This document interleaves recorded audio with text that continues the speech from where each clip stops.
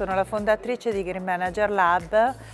un diciamo, insieme di format di formazione dedicata ai manager, alle prime linee delle aziende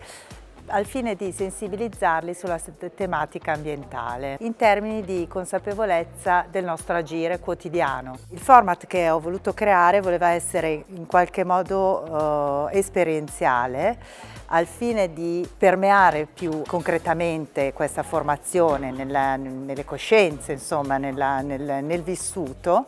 eh, piuttosto che eh, sentire, ascoltare, vedere video, interviste, documentarsi, presentazioni, ecco, che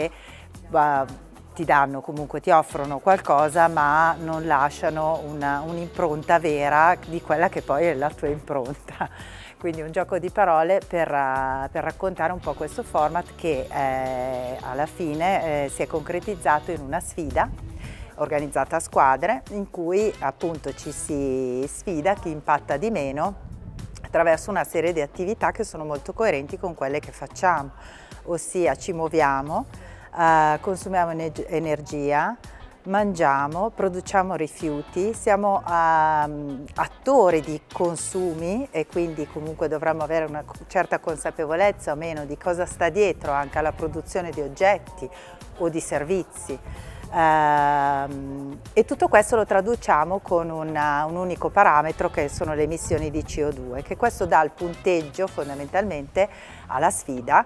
eh, e che poi decreta un team vincitore piuttosto che un altro. Alla fine di questa sfida, che è comunque molto esperienziale, dicevo, eh, perché io ehm, ti faccio giocare, ti faccio uh, fare delle, delle, azioni, delle attività uh, concretamente su ogni tematica, quindi per farti toccare l'energia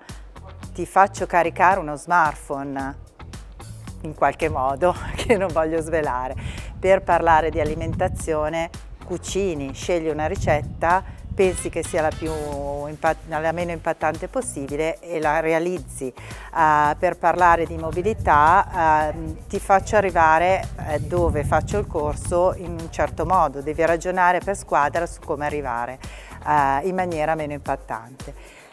Finito questo gioco fondamentalmente um, che comunque ti fa anche rispondere a delle domande e ti sensibilizza, eh, ritorni a essere eh, azienda o comunque eh, team di un'azienda e ehm,